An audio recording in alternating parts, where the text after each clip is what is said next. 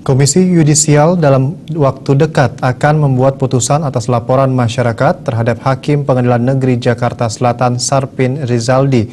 Hakim Sarpin sebelumnya dilaporkan terkait kasus dugaan pelanggaran kode etik saat menjadi hakim tunggal dalam menangani perkara pra peradilan Komjen Budi Gunawan.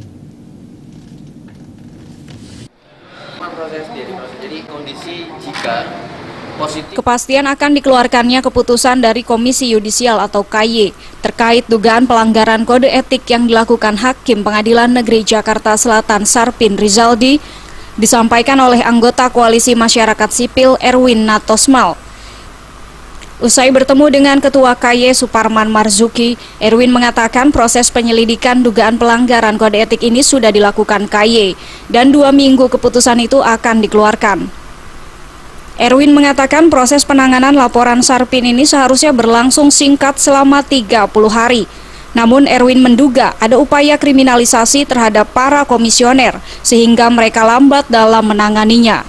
Polisi mendukung KY untuk bekerja secara objektif dan independen dalam kasus-kasus itu.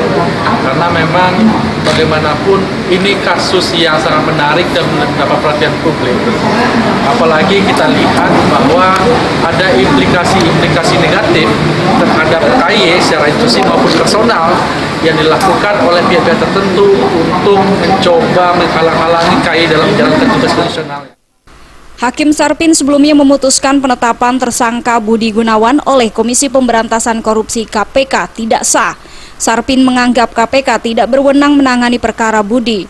Dalam keputusannya, Sarpin menganggap bahwa Budi bukan termasuk penegak hukum dan bukan penyelenggara negara saat kasus yang disangkakannya terjadi. Dari Jakarta, Hamjati melapor.